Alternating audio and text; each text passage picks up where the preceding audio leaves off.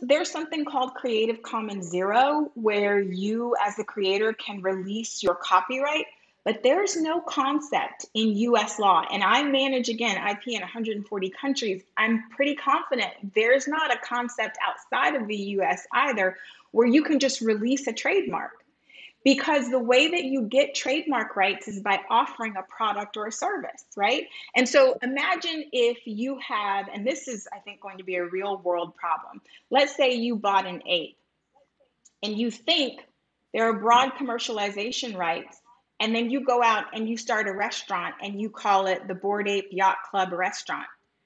Well, if Yuga Labs doesn't own the rights in Bored Ape Yacht Club, they never had them to give to that buyer, right?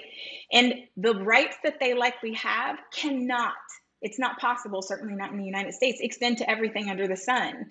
So if I wanted to go out right now and register Bored Ape Yacht Club for um, rugs or um, school buses or you know anything that has nothing to do with what they've done the basic fundamental tenet of trademark law is going to be well, they don't own that. That's how we can have Delta Airlines and Delta faucets.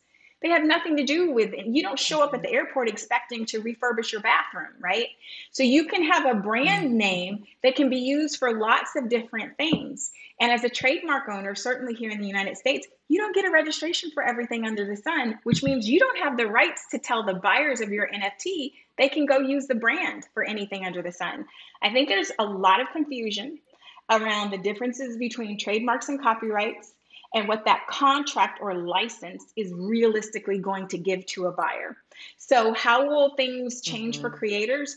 If you have a community and you're sharing value and you have extraordinary art, then what the digital asset space creates is an opportunity for you to sell your work anywhere in the world.